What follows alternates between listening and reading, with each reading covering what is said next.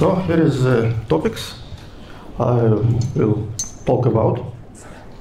And uh, Takashi has already covered some of the fields and even some showed some pictures that I will show you also.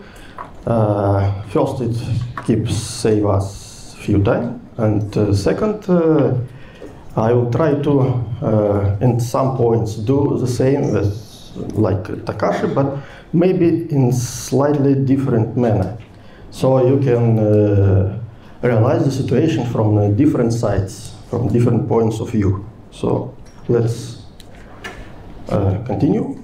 Oh, it? Ah, yes. So this is a Hertzsprung-Russell diagram. Uh, you saw it for many times today in the morning. So this is uh, logarithm of luminosity, and this is logarithm of uh, surface temperature, and uh, uh, this is inverse to temperature, which is cold, and this is the whole hot stars in here. And this is just the observation. But this is what we really see. Uh, you, you can hear different stars. This is the main sequence. This is a hot uh, giant stars. Here is our sun, and somewhere in here, yes. And this is a cold, small, uh, red stars. And uh, so the luminosity is connected to the surface temperature by this uh, relation. Uh, is, uh, the R is the radius of the star. And uh, the main information that we can get from this picture is what is uh, evolution information, evolution of stars. So all the stars starting from the main sequence and uh, in somehow get to the giants or supergiant uh, domain on these regions. And uh, the main thing is that some stars, like our sun, for example, will eventually go to the white dwarfs and uh, die. But other stars, and this is uh, my topic, uh, massive stars, will uh, uh, mark uh, their death as a huge explosion. And this is a supernova. So, uh, this is uh, just general information about the stars. Uh, uh, mass, is the chemical composition of different stars, is the characteristic values for our sun. Sometimes it's uh, very useful, useful to remember these numbers. For example, the luminosity of the sun is 10 to the 33 power ergs, uh, per second, of course, not ergs. And uh, this is the luminosity range, the radius range, and this is, I think, the main topic that the masses of the star, or stars al- also lie in some uh, range. that is, they exist in lowest uh, mass for the stars and highest high mass. And uh, the main, uh, most strict uh, limit is a low mass limit. It's even called a special name, a Kumar limit.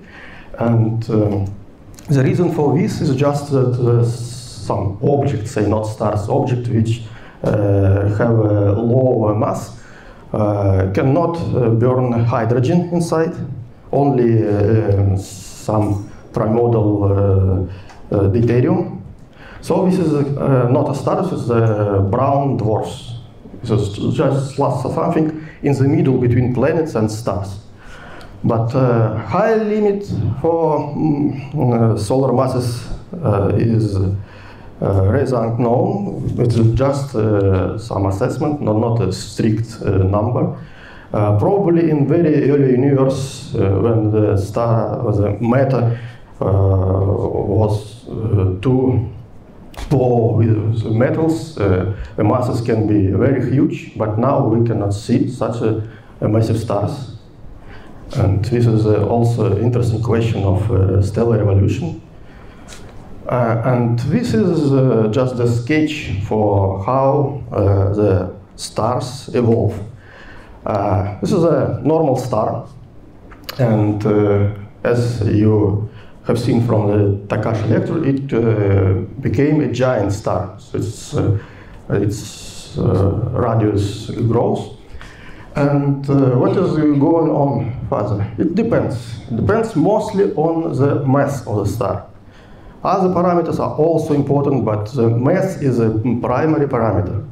So if mass is less than approximately 8 solar, for example, our sun, when uh, such a star will lost almost uh, all, uh, say, mass that is beyond Chandrasekhar limits, our sun will lose approximately half and convert to white dwarf.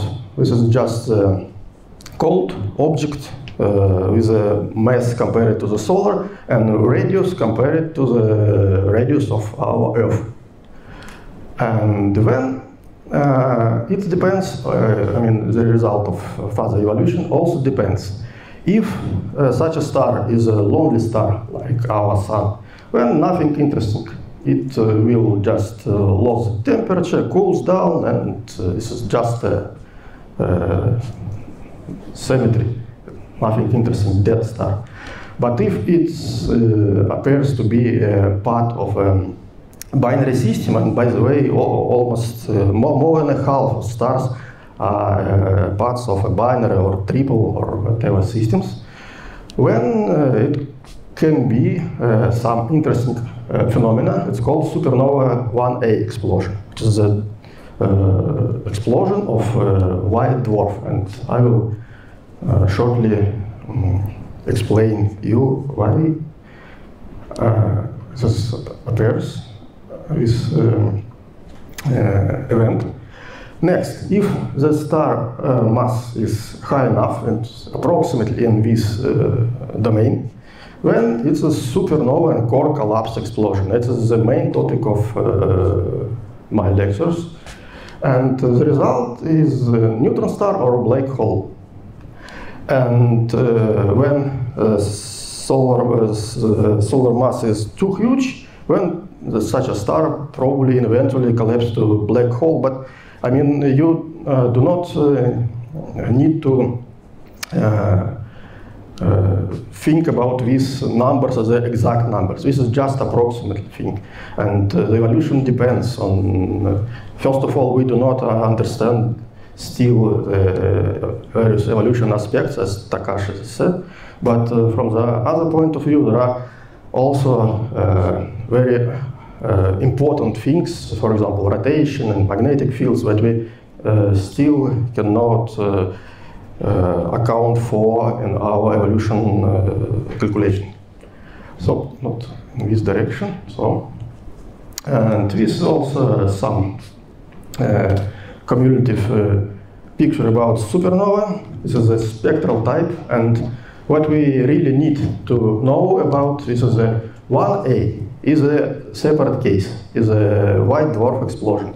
But others, 1B, 1C, 2, uh, is a uh, uh, progenitors, so this is a core collapse supernova. And when uh, this one, type 1, means that there is no hydrogen, and type 2 is, means that hydrogen is very easy to remember because H is, looks like this type 2. So you do not need to remember too much.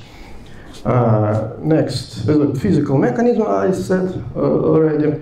This is the core collapse, and this is the explosion of uh, light of the light curve. Uh, this is for me. I took this from uh, George Raffelt presentation. Uh, neutrinos uh, insignificant. Yes, it's true, but what does it mean? I mean, does he mean neutrinos is hundred times the visible energy? For me, it's wrong because. mm, uh,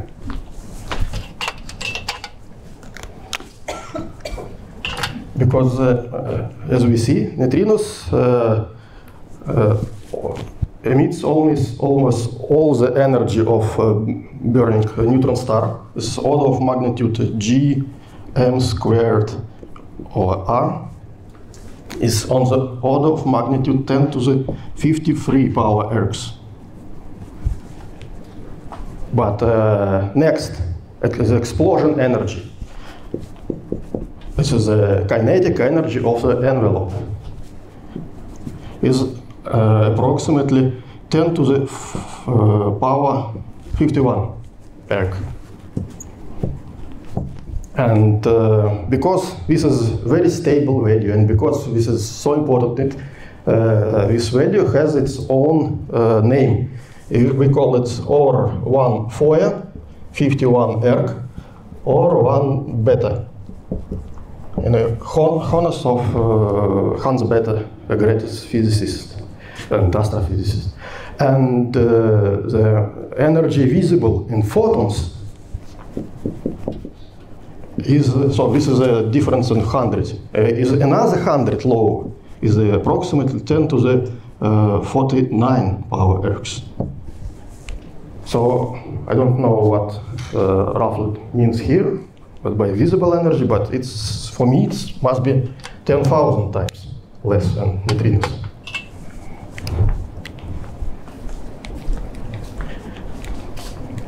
Okay, so and uh, few just observational pictures. Uh, what is uh, how does supernova explosion manifest itself?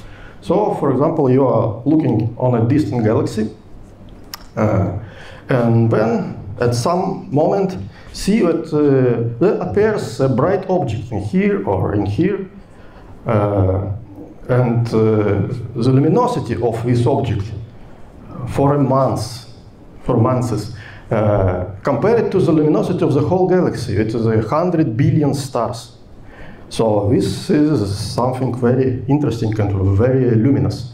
And now we know it is uh, uh, this process marks the death of a or massive star or a white dwarf uh, supernova 1A. It depends. This, if I remember, is a 1A supernova. Oh, not this. Okay. So this is a funny um, article. Uh, it's called The Disappearance of a Red Supergiant Progenitor of Supernova 2000 ABK. So 2000 A marks the year of uh, when the supernova shines. And this, um, this is supernova type 2P. This is uh, other um, subdivisions for types of supernova explosions. Uh, oh, okay.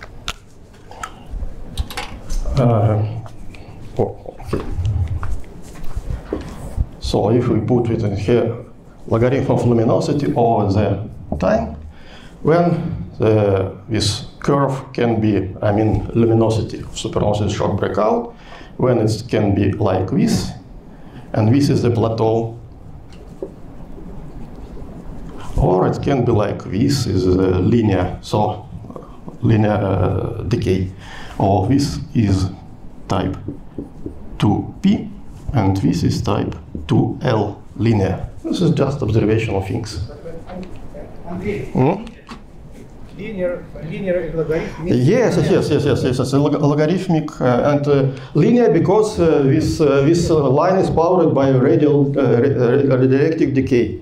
As nickel goes to cobalt, goes to ferro, and this is just is uh, by exploring the angle of this curve, you can find out what is exactly uh, uh, the case. It was proved it is nickel to cobalt to iron to ferrum decay.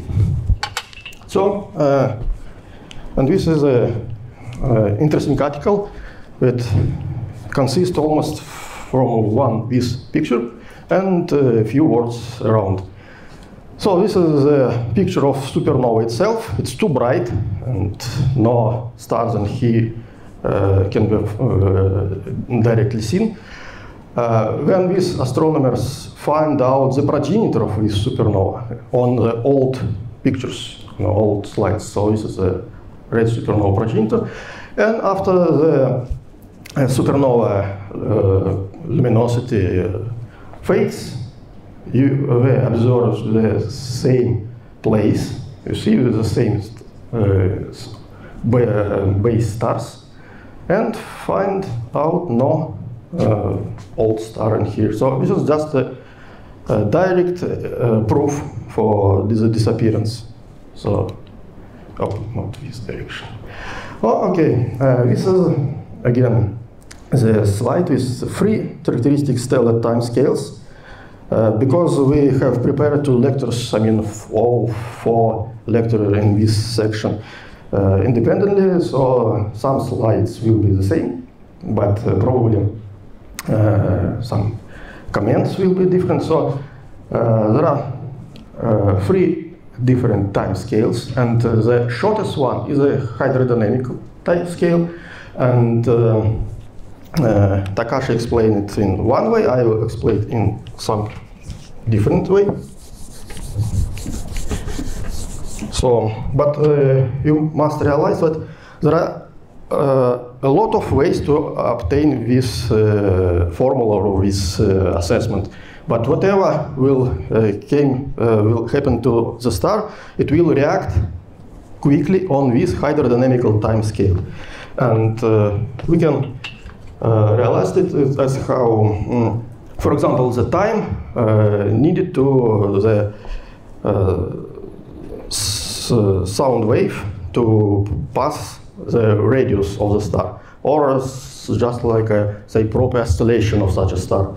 So this is the um, hydrodynamical time scale is on the order of magnitude of the radius of a star divided by the uh, speed of sound.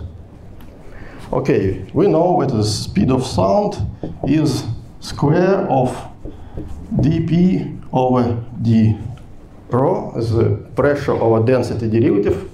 For completeness, we need to put it with a constant s entropy. So it's order of magnitude p over density. And uh, now we go to the main equation of stellar uh, equilibrium, equation of equilibrium, as like uh, Takashi has already wrote it, it's minus g m over r squared. And this part we can write down like this, is on the order of magnitude p over R. And you see that this P over R is on the order of magnitude is G M uh, P over uh, rho is on the order of magnitude of G M over R. So we'll put it in here and we obtain hydrodynamical time scale is R cube over G M and this is nothing more than 1 over g rho. There are a lot of ways to obtain this formula and a lot of uh, tasks. For example, if you uh, will uh, think about the star formation, you have a huge uh, cloud of primordial dust and uh, it will collapse to form the star and some condition and the characteristic time scale will be absolutely the same. 1 over square of 0, just uh, density absolutely different, and, because of this, the time scale is absolutely uh, different. But the physics is the same. So next is um, thermal time scale. So I do not know what to add to Takashi analysis here. And uh, this is uh, this is the shortest. This is the next uh, time scale, and the hugest time scale is a nuclear time scale. I'll put it in some additional formula in here. Four. So this uh, nuclear time scale is uh, assessment of uh, which time is needed to the star to burn, say, uh, hydrogen inside. And it's uh, the order of magnitude of the nuclear energy is over luminosity. And we need to find out this uh, energy and uh, we know that the main sequence, on the main sequence, the stars burn hydrogen into helium. And we can put it as like mm, uh, mc squared, m as the mass of the star. But we know from the modeling that uh, the star cannot burn all the mass to the helium, only about 10%. One, uh, 0.1. And next we need to find out which uh, part of MC squared can be eliminated. This is the part, uh, uh, this is a part of MC squared that was that will be eliminated, uh, radiated by the star, and this is just 0.07. So when you combine hydrogen into helium, this part of mc squared is the uh, energy. And you need to divide it over luminosity. And very important thing, that uh, luminosity here is very crude, uh, but still is proportional to m to the third power. This is of course not exact relation, but for more or less massive stars is good enough. Uh, and from this, if we put the numbers, we find that this time scale is 10 to the 10 years, and here is, uh, say, m solar over m squared. And this is all, also very important formula. Uh, we told us that uh, massive stars live uh, very short. And uh, our sun will live, it's uh, right now it's approximately 5 billion years old and approximately the same time is uh, uh, in the future. But uh, for example, if we will turn back to this op, Hertzsprung-Russell diagram, you see that our sun, the um, uh, age of our sun will be approximately 10 billion years. Uh, these stars, huge, massive stars, shot very, very quickly, but these uh, red small stars will live almost forever. For example, if you put in this formula uh, mass one half of the, our sun, you obtain uh, 40, uh, 40 billion years. But our universe is only 14 billion years. So it's almost, uh, almost. Mm. So this is just um, uh, numbers for this uh, values for this is for the sun. The hydrodynamical time scale is a thousand seconds, approximately, of course. This means that some shock waves and uh, some oscillation and some sound waves inside our star's uh, sun uh, will propagate in approximately 1000 seconds. This is a thermodynamical or thermal RNA thermal time scale, and this is nuclear. For blue supergiant on main square, this is slightly different numbers, and you see that uh, 30 uh, solar mass star will live only 5 million years. 5 million years, so it's absolutely nothing uh, in the sense of our, say, sun, even in the sense of the, for example, evolution uh, theory on, I mean, evolution on the Earth of uh, various animals and so on. And uh, for example, for white dwarf, is uh, characteristic time scale is 0.8 second. So, uh, and this slide is almost, uh, it was almost covered by Takashi. And this is the main factors determining the structure and evolution of massive stars. It's a rotation, turbulent convection, is a large scale meridional circulation. This is some specific circulation that uh, occurs in rotating stars inevitably. And mass loss, and uh, this topic was not covered, uh, but I will do this, is a uh, energy losses due to neutrino emission. So the stars uh, loses energy not only by uh, photons, but also because of neutrino emission. And this is especially important for the massive stars on the late stage of evolution. For our sun is energetically, energetically is not important. but uh, it's important because other uh, reasons. And this again, uh, something like this you have already seen in the morning. So this is a phase diagram, the log of temperature at central temperature, and log of uh, density for different uh, uh, for just phase diagram and there's different tracks in here for different masses of star. And uh, here, as you have seen, is just uh, borders of uh, burning.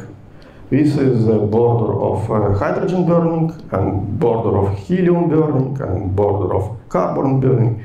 And uh, we can see on this, uh, for example, if we take the mass of a some star, not star of course, brown dwarf, less than 0.08, when it's during the compression it heats and became denser and denser and denser, but it, it does not reach, reach this hydrogen burning line and just cools down. It's slightly compressed, but uh, uh, the main is cooling in here. So other way exist the stars in this diapason uh, uh, up to 0.5 solar masses. It can uh, burn hydrogen but uh, can burn helium. So it's, it will form the uh, helium white dwarfs. But if you will see in here, so the uh, lifetime for such a stars is so huge, so we, we cannot uh, can't find the helium white dwarf. I mean, this is by by these reasons. So this is for our sun, the helium burning and the carbon uh, oxygen white dwarf. And when there are uh, two different possibilities, uh, three different possibilities, but uh, I will talk about only one of them. So um, very massive stars can get in this region where electron-positron pairs dominate, and such a star become, becomes uh, uh, unstable and explodes like uh, uh, electron-positron pair uh, supernova. It's slightly different story. Uh, the stars in this very narrow uh, uh, domain is slightly less than 8 and uh, higher than 8 and less than 9.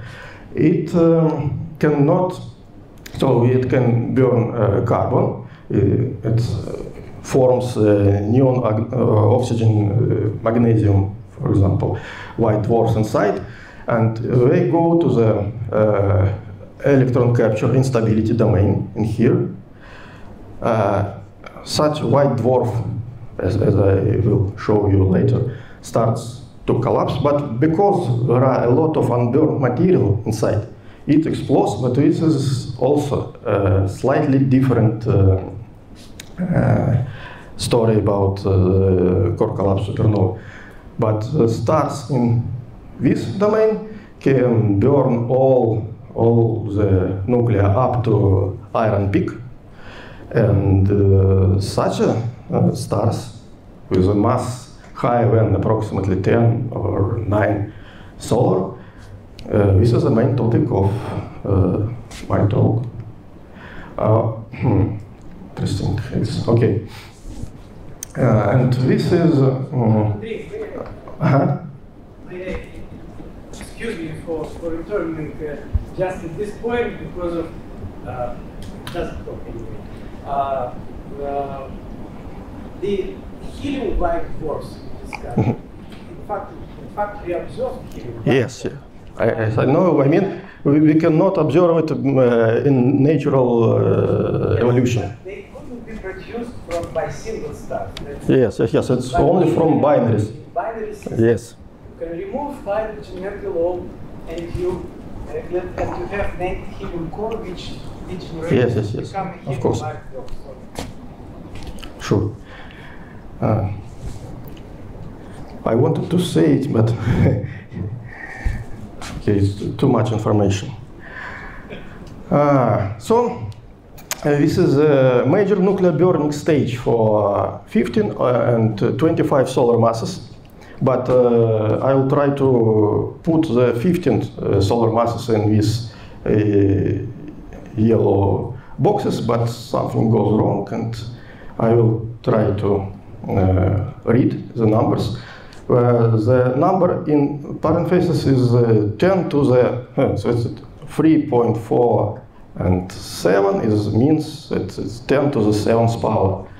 And this is the central temperature. On different stages, is a hydrogen uh, burning, helium, carbon, t, t, t, t, silicon burning, and collapse itself. This is the central density. Uh, this is effective temperature and uh, uh effective radius. Uh, and this also two important uh, things. This is the luminosity in photons, just what we always call luminosity. And this is neutrino luminosity. And this is a characteristic time scale. So if we see it as a 15 solar mass, the hydrogen burning is approximately 12 uh, millions years. And uh, uh, luminosity, uh, photon luminosity is more than order of magnitude higher than uh, luminosity in neutrinos. When after that uh, starts helium burning, is only 1.3 million years. And you see that the luminosity in neutrinos is five orders of magnitude lower than uh, luminosity uh, in photons. Uh, I wonder if uh, someone guess why. So this is uh, only one order of magnitude lower, and here is five orders of magnitude lower. Okay. Uh, the reason, is, um, the reason for this is that uh, the helium burning is just a nuclear process. You take uh, free alpha particles and convert it to carbon. But to convert hydrogen to helium, you need the weak processes. You need to convert the proton to a neutron and uh, escape uh, neutrinos. So, uh, next, carbon uh, burns in approximately 6,000 uh, years. And uh, oxygen is approximately two year, and carbon burns for six days only, six days. And collapse is approximately 0.3 second. And this, is a, this number is hydrodynamical time scale for the uh, central part of this huge star for, for the core. Uh, yes, and uh, if you will see, for example, on uh, silicon burning stage, the uh, uh, luminosity in neutrinos is six orders of magnitude higher than luminosity in photons. This star is a huge uh, supergiant. It shines very bright, but in neutrinos it shines almost a million times higher. So that's why on a late stage of uh, evolution of such a massive stars, uh, it's neutrino which governs the uh, rate of evolution, the speed of evolution. So this is uh, again a sketch. Uh, it's called onion-like uh, structure for the star on the just before the collapse. of course, it's not in scale. It's just a picture. So this is a say iron white dwarf. Uh, it's uh, yes, it's uh, just like a white dwarf, but surrounded by silicon, neon, magnesium, oxygen, layers, and uh, on uh, each in each border is still burning continuous, which is the silicon converts to iron and the mass of this iron core grows and grows and grows and at some point it, it will collapse. Uh, so, before uh, going further, uh, we need to discuss what, what is going on with neutrinos, which processes are responsible for the neutrino luminosity of such stars. And first is uh, just electron-positron pair annihilation, and uh, just because uh, the temperatures are very high, uh, there are a lot of positrons in here, and uh, they can annihilate to burn uh, to burn the neutrinos of all types, electron, muon, and tau. Next is some specific plasma neutrino process. it's more difficult in some sense, but this is some uh, was called uh, plasmon uh, annihilation or uh, plasmon um, born with a pair of neutrino and antineutrino. Plasmon is just a quasi-particle, is a collective uh, uh, in plasma, uh, collective motion of plasma particles. Um, and this is just uh, photoneutrino process. This is a gamma, as a photon plus electron can be converted to this, again, pair process. But uh, main things, I think, is uh, just uh, Urca processes. It was introduced by Gamow Schenberg. Um, and Gamow, uh, it was a famous Soviet and then American physicist. And uh, besides others, he was a great joker, and uh, he called it Urca's ultra rapid cooling agent. But uh, those who know Russian uh, knows that uh, Urca is a name for, say, robbers and thieves, the ones who can easily make you lose your money somewhere in night time. Uh, and uh, what they introduce. For example, we have uh, some uh, nucleus. A is a massive number, Z is a um, charge number. It captures electron and converts to this, this uh, the nuclei with the same atomic number, but of course uh, less charge, and emit electron. But this new uh, nucleus can be unstable for the inverse decay. And it converts to a Z plus uh, electron plus antineutrino, or uh, it can, uh, this nuclei can uh, capture positron and the convert is the same. As a result of this process, we uh, have a initial nucleus and we, the same nucleus is at the end of the station. But the result is the emission of two electron-positron pairs. And this is Urca process. It can be equilibrium one, and when the number of uh, neutrinos and antineutrinos uh, are equal, emitted. But on the late stage of evolution, it's uh, not, these processes are not in equilibrium. And this process, uh, by the way, you can put in here, say, proton, is A1, Z1, and find this uh, proton plus electron converts to neutron plus neutrino. Uh, and on the late stage of evolution, this process uh, grows more rapidly, and this process calls neutronization. Is the matter becomes more and more neutron rich, and that's how the neutron star uh, really uh, burns, uh, um, forms. So this is, uh, I don't know, maybe this is not so interesting for you. It's just a different uh, plasma process, again, density temperature diagram, where they are important.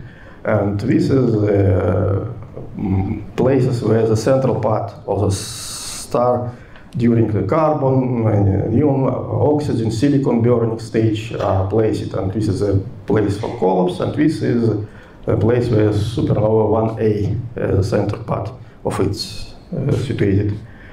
Uh, oh, not this. So, uh, why we should worry about these neutrinos? This is for this work for called presupernova as a powerful neutrino sources, and this is really truth. And this is a log of neutrino luminosity just before uh, collapse. So the star still uh, looks uh, like everything is okay. Everything is okay, but you see what, how many neutrinos are radiated away. For example, I will remind you that the solar luminosity in photons is 10 to the 33 power x. And here is 10 to the 50, 10 to the 52 power x. Uh, and again, you see that uh, electron neutrinos are much more abundant in here. This is because, uh, not in this direction, this is because this uh, part of the URCA process, this uh, process goes more efficiently. And uh, the results of this calculation is that, for example, what can we, we see on uh, our, say, neutrino detectors uh, uh, from uh, during the shell silicon burning stage is 1.7 hours before collapse. so we are here. And this is a neutrino spectra here on the Earth, assuming that the distance to such a pre-supernova is 1 kiloparsec. I'll remind you that the uh, center of our galaxy is 8 kiloparsec, so it's still in our galaxy, but uh, uh, far away enough. It's a um, combined picture. So this is the flux from our sun. This is the so-called PP uh, neutrinos. This is another part of, of, neutrinos from our sun. This is boron neutrinos. And this is neutrinos and antineutrinos from such a pre-supernova. So in principle, can be detected. This is very important. And let's go to the next slide. So the same, uh, not the same, slightly different situation. Yes. Uh, this is a new anti-new signal from pre-supernova at 5 kiloparsecs. And uh, I don't know why authors uh, think that the time should go in this direction, but uh, this is the time before collapse in here. And this is the number of uh, hints, so it's the number of interactions in some uh, approximate uh, neutrino detector. And this shaded area is a, a signal from our sun. We cannot see anything from this if it's below this line. But you see that approximately, uh, approximately slightly lost, yes, 1.5 maybe hours before collapse, uh, our neutrino detectors will uh, find something, but uh, something really uh, goes on, and the rate of neutrino uh, detection will uh, grow. And this can be used as a signal for all, is just attention, some, something, some cl close enough star uh, is ready to collapse and to shine like supernova. Is very important. But this is an even more interesting example. So this is, again, a Hertzsprung-Russell diagram. And this is a huge star. Uh, uh, on Russian it's called Betelgeuse, but uh, on English it's called Betelgeuse. So I don't know which name is more funny. Uh, it's a red supergiant, uh, distance 200 parsecs from us, is approximately mass and radius and other parameters.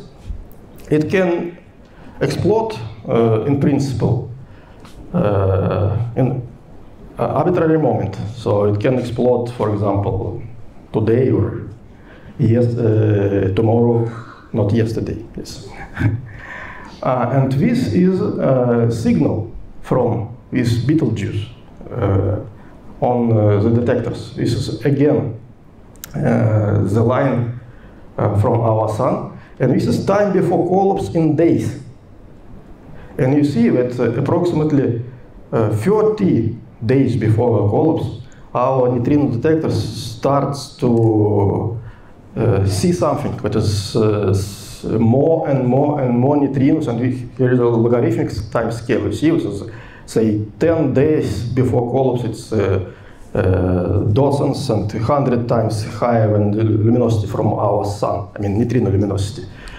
And uh, because um, modern uh, neutrino detectors, not all, but uh, some of them are Cherenkov-based neutrino detectors.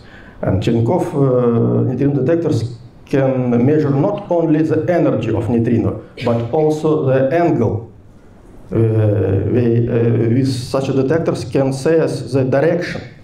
And because there are lots of neutrinos, we will not only know that something appears to explode in close uh, time. But we will know the direction on the sky.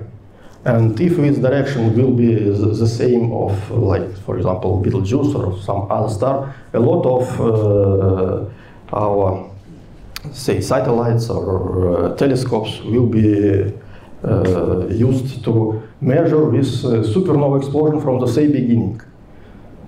So this is very important. This is just uh, like an alert about uh, supernova explosion. So uh, we go to the structure of pre-supernova star is approximately 15 solar mass. And uh, so this is not a picture, this is just, uh, just the results of uh, evolutionary calculations. And uh, this line is the density profile in here, uh, and this line is a temperature profile. So this is the parameters. And um, you see that this is a break, and after this break, the density is very low, but the full mass in here is still huge. It's approximately nine solar masses. This means that uh, this is a very, very uh, big or huge envelope, but with very low density in here. And uh, this line is a, a rate of neutrino generation. It's uh, the most uh, energy leakage source in here. And this is the energy losses due to nuclear reaction. One and second. We will uh, return back to this. And these lines marks um, convection regions. So this region is the envelope is fully convective, and this region is convection, convective, and this region is also convective. So you see that uh, uh, the structure of such a pre-supernova star uh, can be divided on the, core, and uh, we call it, uh, can call it a white dwarf, inside the pre-supernova. It's a dense uh, and hot uh, area when it goes in mantle and when the envelope. And the next slide is just for the same situation as the chemical composition. So this is the iron uh, core, iron white dwarf. He is a silicon and it burns, the silicon burns into iron in uh, the here, and we, oh, not in this direction, and we see this uh, energy generation of nuclear reaction in here. Uh, when it's uh, oxygen layer, and here is uh, just a uh, helium burns into carbon and oxygen, oh, and, and this is this energy generation rate. And uh, this is the helium and hydrogen envelopes. And you see that this concentration is almost constant. And here, and here, and here. This is because of uh, action of convection. Convection not only uh, transport energy, but also smooths the chemical composition. And uh, now this line marks the uh, uh, region uh, the core, which uh, will uh, collapse. And this is the main thing for supernova explosion, that is the iron core grows, grows, grows, grows, grows, grows, grows on the Lagrangian mass. And at some point, it's uh, overcome the Chandrasekhar limit and collapse. Uh, and this is a, a slide for uh, dynamical stability. Takashi had already told you something about dynamical stability. I will, and the main result is that you need to see on this adiabatic index. Uh, this is the main criterion for uh, the collapse or the stability. And uh, I will try to do it in slightly another way.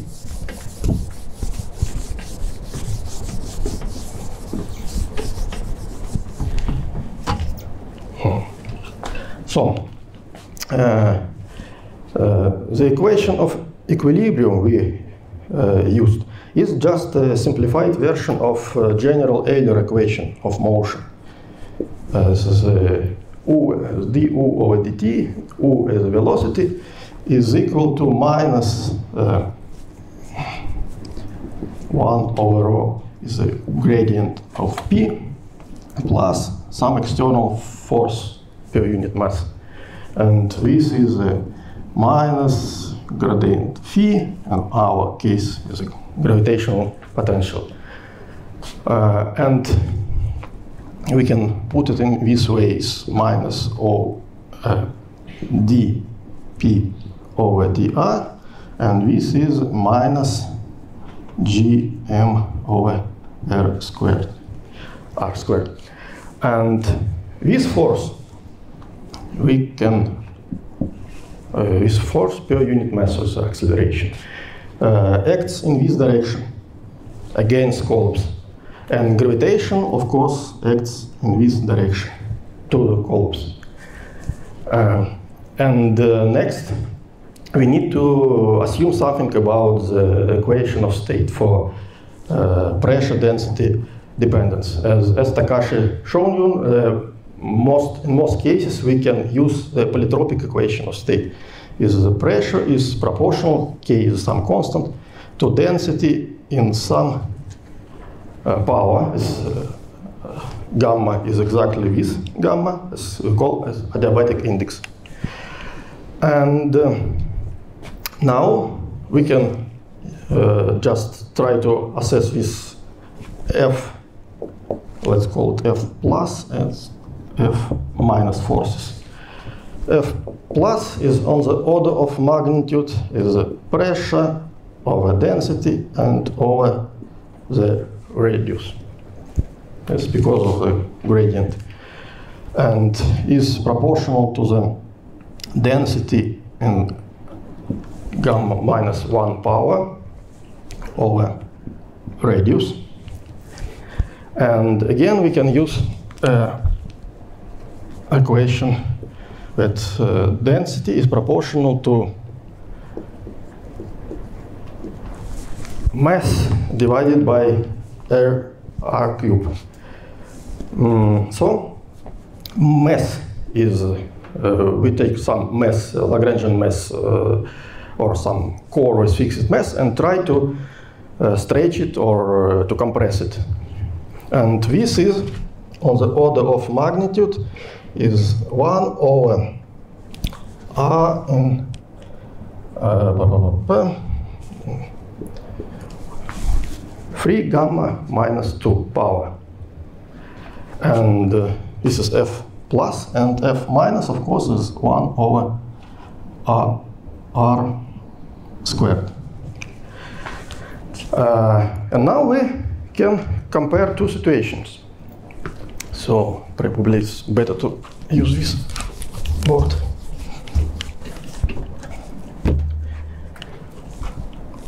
I will plot the forces as a function of radius. Uh, one and second. This is the point of equilibrium.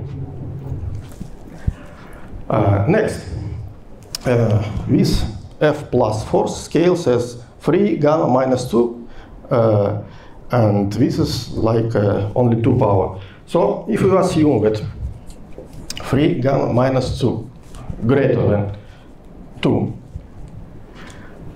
that is gamma, gamma greater than 4 over 3, this means that uh, F plus force uh, drops quickly with say radius.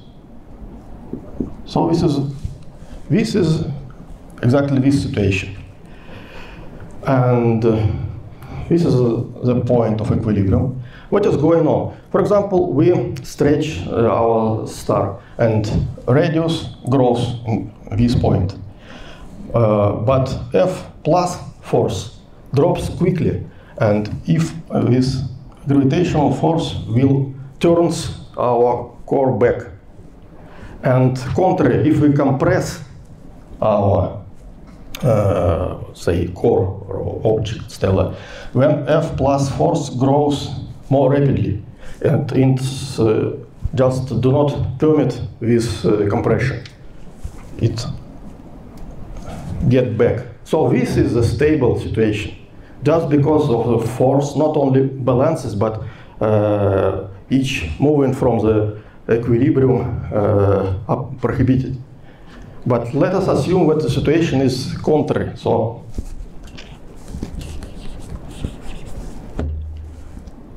this one. Well, this is minus, this is plus.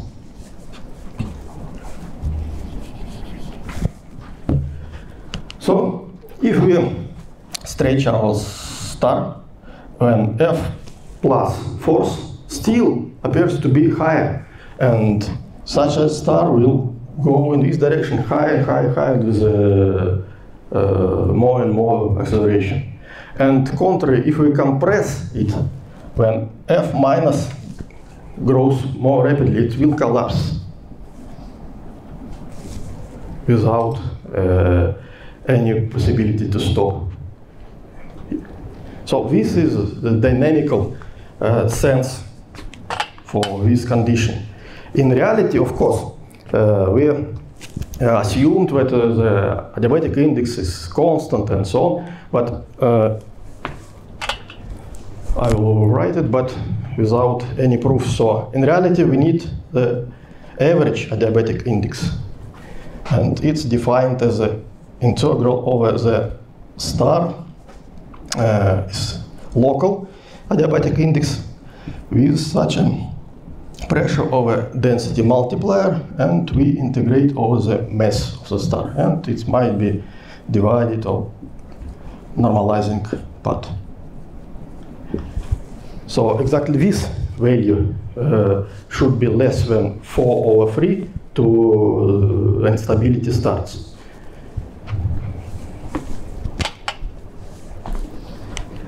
Okay.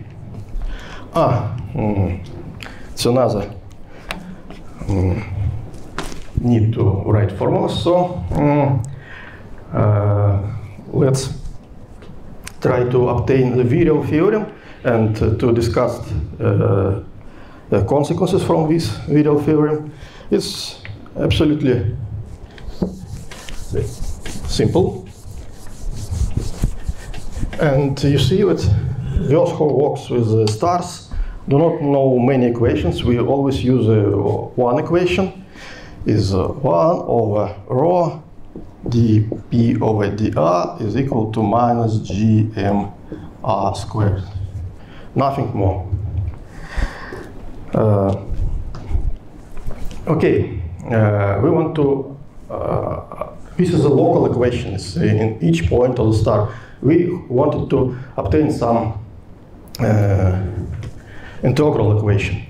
Uh, let's multiply this by uh, such a value as dm over multiplied by r and integrate, make an integral.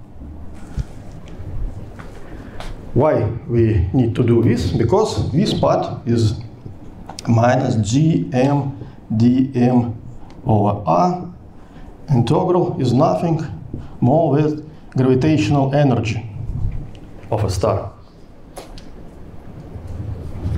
We can uh, realize it like, um, say, charging or creating a star when we, says we have a star with some radius and we take some mass dm and put it in a surface and du is equal to minus gm dm over r and integrate. So, and another point we need to remember that dm over dr is equal to 4 pi r squared rho. This is just a continuity equation it's in here. Uh, let's integrate the right side. So uh, this is uh, mm -hmm. integral 1 over rho dp over dr multiply by r and 4 pi r squared rho and dr. This eliminates and this is now integrating by parts and uh, uh, 4 pi r r cube p on the limits minus. So uh, this is 0 why low is 0 on lowest limits and low uh, 0 on the high limits. Is it clear I see it's clear absolutely. On the low limit is because this r on the uh, on the upper limit this is because uh, on the surface of star pressure is zero it's by the definition. Un- Unless density goes faster than Yes, uh, and we can, yes, yes, but we can uh, consider other situation when the external density is not zero and uh, uh, there are a lot of interesting things here. And this is minus uh, integral, this is a p, and we differentiate this, so uh, 3 times 4 pi r uh, squared dr. Now we can divide by density and multiply here by density, and this is just dm. So we can combine this to obtain that mm, free integral p over rho dm plus uh, gravitational energy is equal to zero. And this is the virial theorem Konstantin has discussed on the morning. So now, with the aid of this simple thing, we can obtain a lot of results. First, uh, let's turn back to our polytropic equation of state. Uh, if the equation of state is like this, we for sure knows that the energy per unit mass is equal to k minus 1 over gamma minus 1 or is just p over o um, this one. So the small task for you is to prove this. This is uh, flow thermodynamics. Yes. Uh, and now, if we assume that gamma is constant, we can put this equation in this form. Uh, integral E dm plus u is equal to zero. But this is just internal energy of a star, full internal energy. So, uh, E, say, call it int, plus u is equal to zero. So, mm, uh, uh, next, the total energy is equal to internal plus uh, gravitational energy. Uh, and now assume that uh, we have an uh, ordinary matter with adiabatic index is equal to 5 over 3. Or it can be degenerate matter, but non-relativistic. When this 3 multiplies gamma minus 1 is equal to just uh, 2, 2 yeah, internal plus gravitational is equal to 0. Or yeah, internal plus E total equal to 0. This is uh, just for almost all the stars except uh, specific cases like a white dwarfs.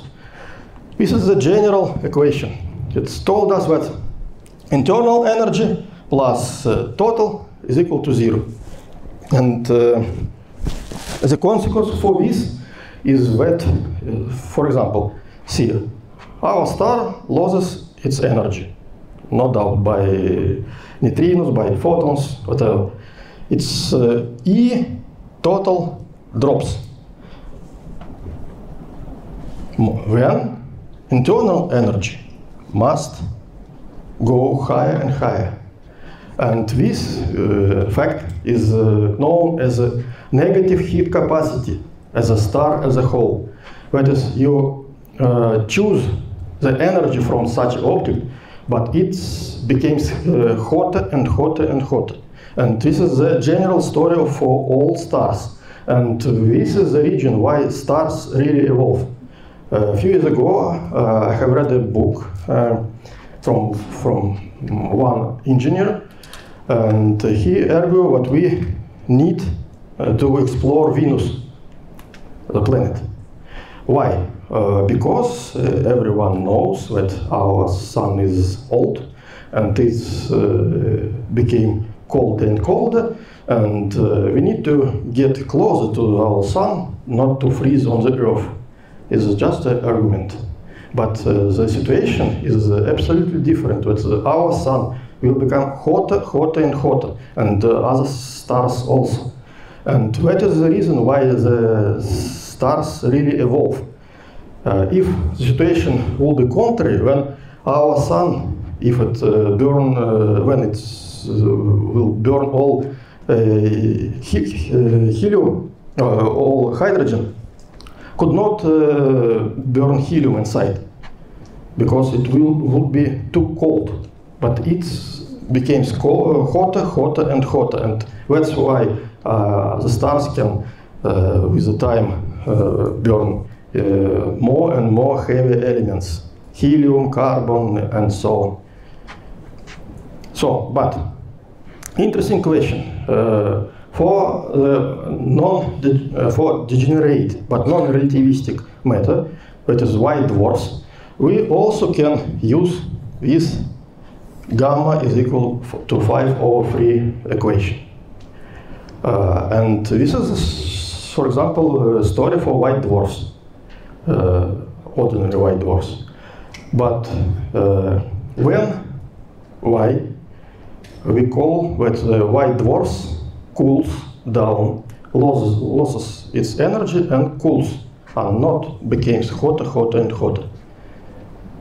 This is a question for you, for the exams, of course.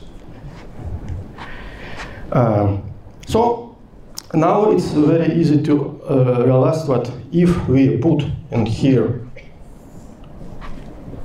adiabatic index gamma is equal 4 over 3, we obtain, uh, this is just uh, 1, and we obtain situation when E internal plus U is equal to E total is equal to 0.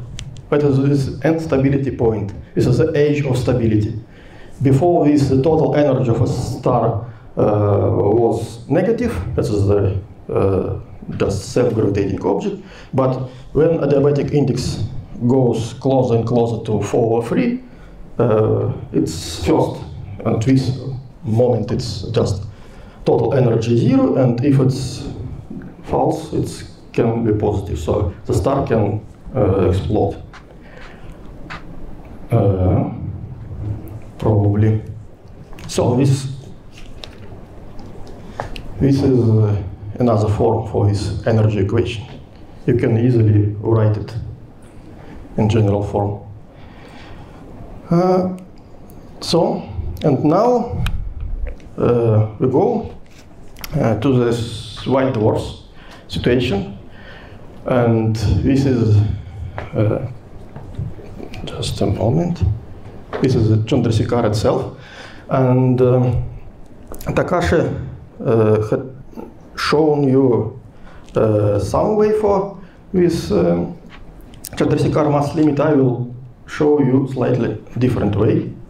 But uh, I mean, this is the same in some sense.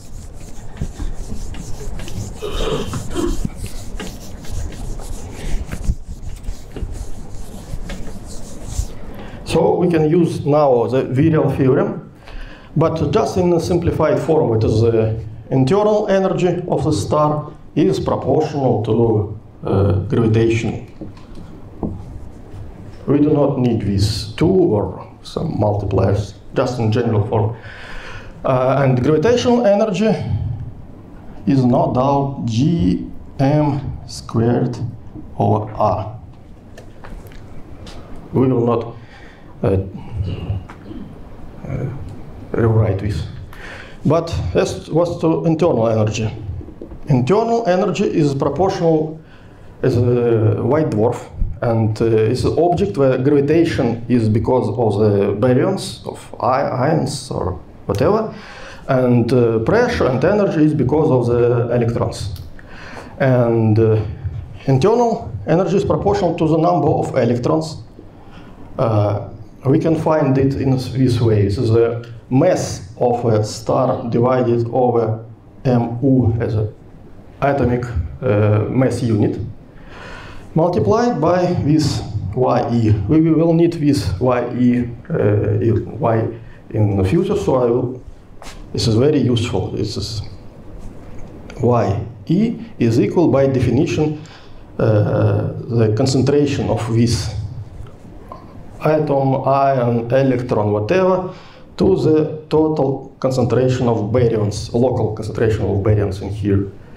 And the concentration of baryons is, again, by definition, is the density divided over atomic unit mass.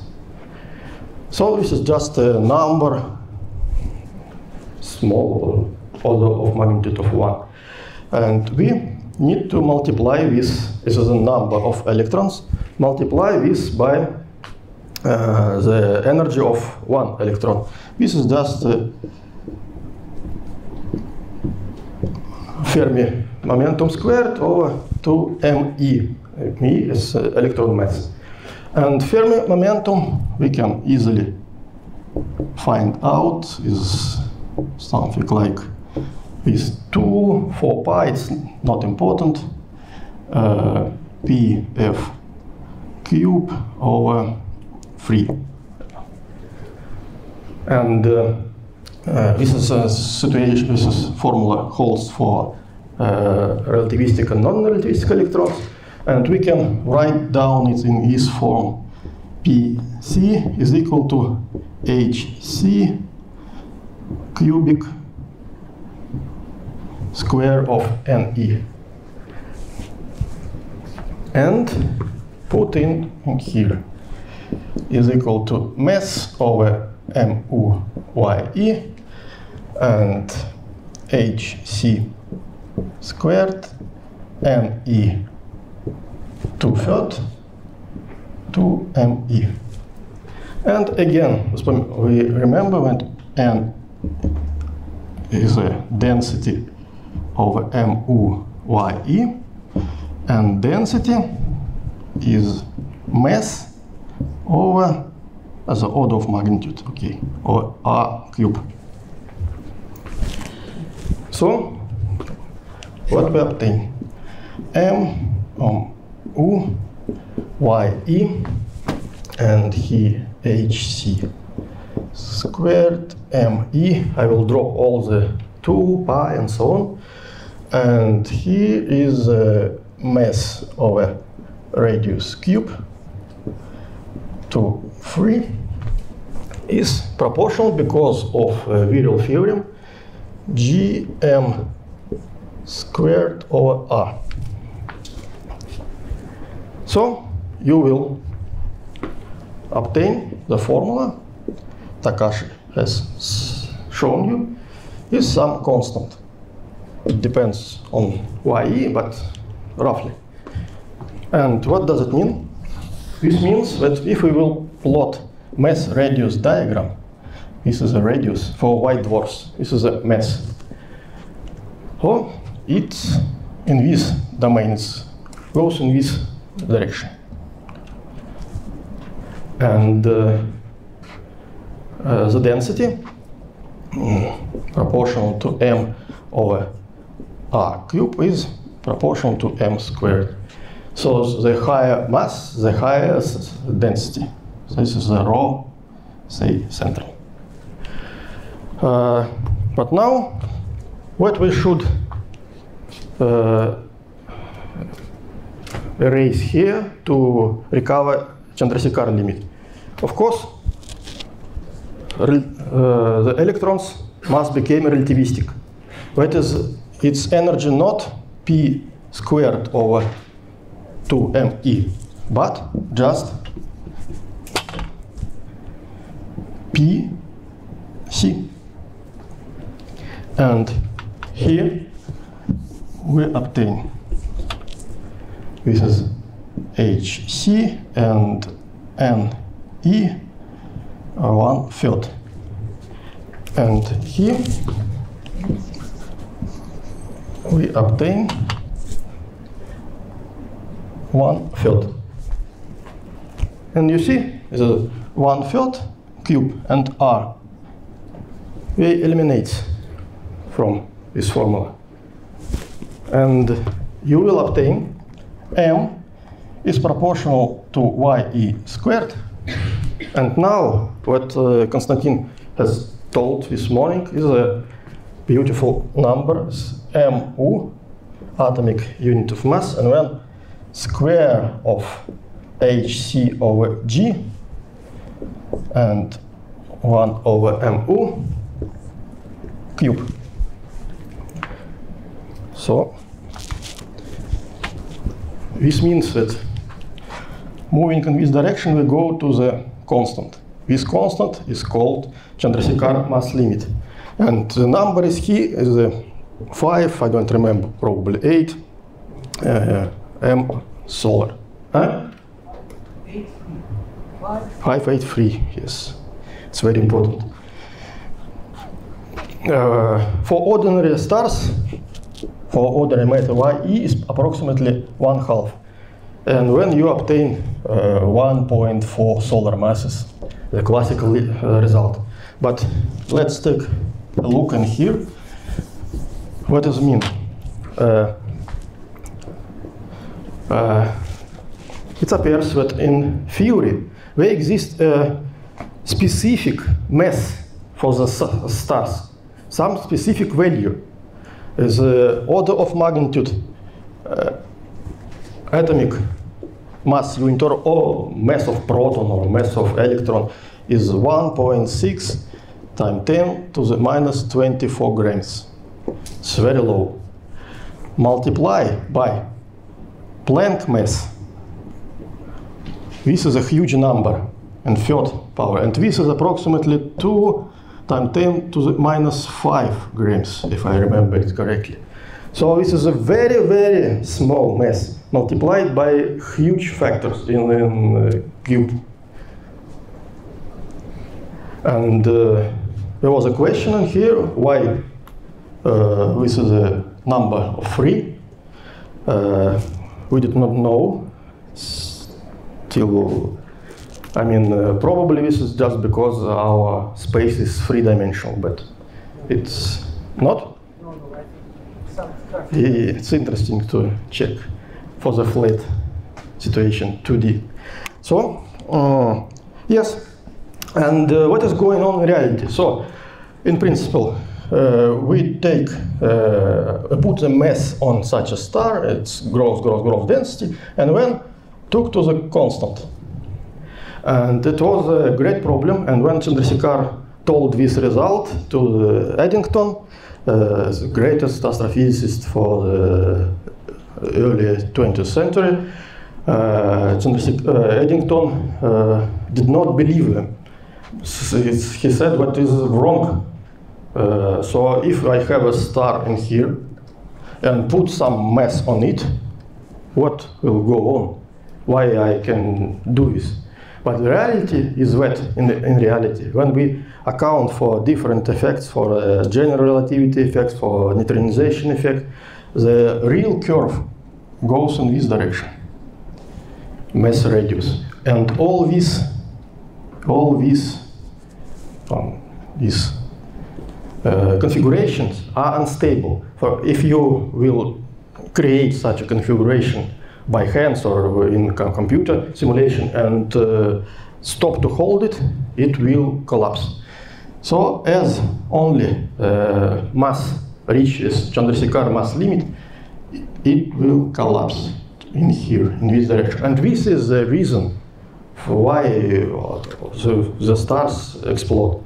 But uh, why do uh, exist, uh, for example, 1A uh, supernova and uh, other type supernova? If you have, say, carbon oxygen core, and uh, for example, uh, mass accretes, for example, from a companion star on it, uh, it sta- it's try to collapse, try to uh, get uh, higher and higher. But uh, temperature uh, grows and there are a lot of unburned fuels, carbon, oxygen or whatever, and it explodes because its total energy is positive. But if it's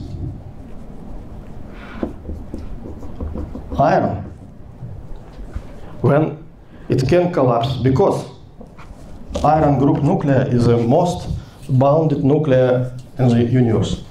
If we will plot uh, binding energy per nucleon in various nucleuses, as I say hydrogen, helium, p, p, p, p, p, carbon, iron, and then it goes for more heavy nucleus. It looks like uh,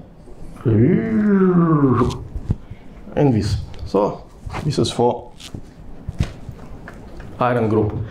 So we can obtain the energy by two ways, or by merging light and nuclei, or uh, by fission uh, heavier nuclei. But if you have iron core, and if it compress, it can only uh, uh, it cannot release an energy. It can only supply. So, um, eh, forget where is my. ah. So, this is uh, the sketch for this situation. So, density of uh, mass. And this is different curves. Each curve uh, is for compact object or presupernova cores uh, is drawn up to the losses of stability. And if it's this curve, is a supernova 1A, when it explodes. But if it's a higher, uh, more massive core, it can contract it up to new stable configuration. Uh, I erased it. Uh, is new stable branch. And uh, this new stable branch we call neutron stars. And this is exactly what is going on inside uh, supernova. And by the way, this is a formula. This is uh, for the hot uh, Chandrasekhar mass. And uh, probably to obtain this formula is, is, will be a task on next uh, lectures and next seminar. Uh, so I have uh, five minutes, yes? Uh, okay, so, uh, and this is again the density temperature plot. Uh, what is going on inside uh, the star when a heavy star when uh, it's just uh, going on to collapse? Uh, the central part of this star, this blue line ended in, it's one is the center of such a star, and this will go to the envelope. Uh, it uh, during the evolution, it goes in this domain. It's called the ravine of instability. These level lines is level lines for adiabatic index of uh, real matter. So this domain and this domain is uh, adiabatic index higher than 4 over 3, and this one is lower. And when it's going this domain, you see it's two deep minima. Uh, these minimas are because uh, the uh, energy of electrons and gammas became so high in here that uh, first uh, iron nuclei start to capture electrons and converts to manganese and with 3.7 MeV per reaction. And more importantly, the gammas becomes so uh, energetic that uh, it can destroy uh, iron nuclei to alphas and uh, neutrons, and this is uh, more than 100 MeV per reaction. And even alphas can be uh, destroyed to neutrons and protons. And after that, uh, again, uh, we need to um, to collapse. We need that the average adiabatic index of the or integral over the star uh, will be less than four over three. You see, the central part is already in the domain where adiabatic index is lower, but the outer is still here, and uh, the star evolves, evolves, evolves in this direction. And at some moment it's the central part loses its stability and starts to collapse. And you see but um, this is uh, points one two three four and this is uh, uh, time. And the point one it uh, remains uh, 4.5 say, seconds until the collapse stops uh, and point two only 0.38 seconds. So it will, it this two, three, four, five, and so is a track.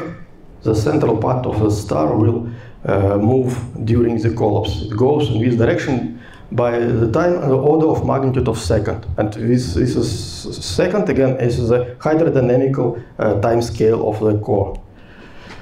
and uh, probably um, yes, this is the last slide, and this is a good point to start the seminar as a task uh, or a problem for the seminar. I think uh, that's all.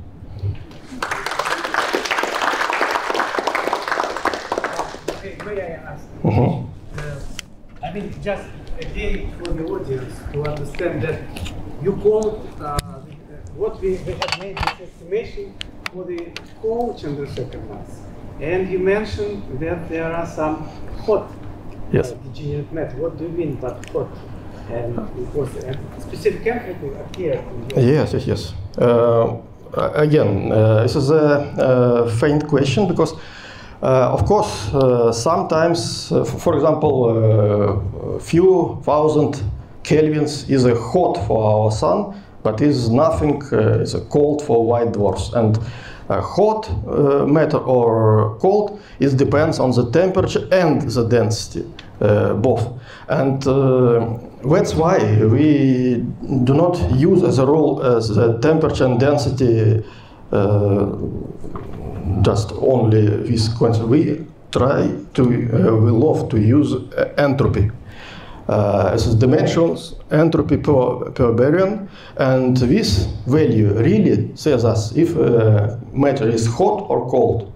Uh, hmm, but uh, again, uh, uh, this is for second lecture. So, if there are any other questions or if not, then thanks the speaker again and. Uh,